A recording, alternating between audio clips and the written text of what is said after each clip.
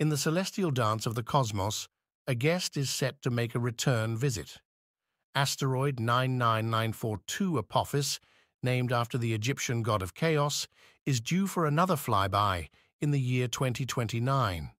Last seen at a distance of 10.4 million miles, this Eiffel Tower-sized asteroid will be getting a bit more up close and personal at a mere 19,000 miles away. Don't fret though, despite the chaos in its name, NASA has ruled out any catastrophic encounter with our blue marble, but the close approach will be a golden opportunity for scientists to study Apophis composition using optical and radar telescopes.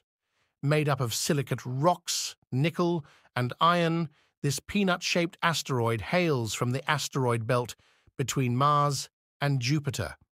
Its return will not only be a spectacle to behold, but a chance for us to unravel